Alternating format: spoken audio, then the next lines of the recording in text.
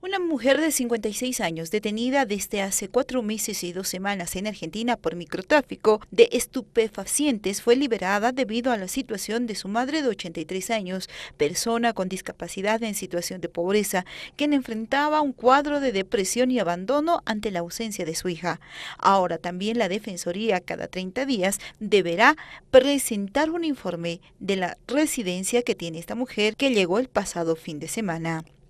¿Para qué? Para que hagamos visitas al lugar y constatemos que la señora esté en el lugar donde reside, en este caso en de Julia en Montero. Entonces, eh, nosotros vamos a hacer las visitas, vamos a hacer el seguimiento y estos informes que nosotros realizamos los remitimos a Defensa para que Defensa Pública de Salta presente al Juzgado Federal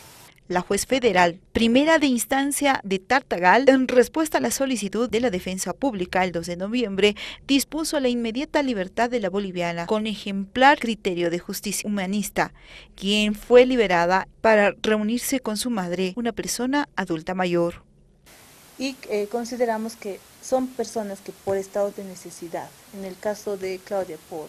conseguir dinero para un tratamiento médico para su hijo, en el caso de Julia, por conseguir una silla de ruedas para su madre que está con poca movilidad, se ven en la necesidad de ingresar en este tipo de hechos delictivos. Entonces, sobre estos casos, la Defensoría del Pueblo trabaja también en el seguimiento de cinco casos de mujeres detenidas por microtráfico en Argentina, que por razones humanitarias también deben ser liberadas.